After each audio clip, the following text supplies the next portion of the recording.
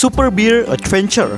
Game kekinian yang memiliki cerita menarik ditawarkan oleh Earthquake Games. Merupakan permainan offline bergenre action yang memiliki map sangat luas. Cerita utama pada game ini dimulai dari kehidupan tentram para binatang yang hidup dengan kedamaian. Ada seekor ratu lebah yang memerintah kerajaan. Dia terkenal adil dan dihargai oleh semua rakyatnya. Namun semua itu berubah sejak ada penjahat yang menculik ratu lebah dan menyamar menjadi ratu lebah tersebut untuk memproduksi memproduksi sebuah madu ungu agar semua hewan tunduk padanya, tapi tidak dengan para beruang. Sehingga saat itu dunia sangat kacau dan membutuhkan seorang pahlawan. Akhirnya muncullah seekor beruang bernama Baren yang siap menjadi pahlawan. So, apakah kamu siap menjadi beruang super untuk mengalahkan Ratu Lebah Palsu yang jahat? Tulis di kolom komentar ya.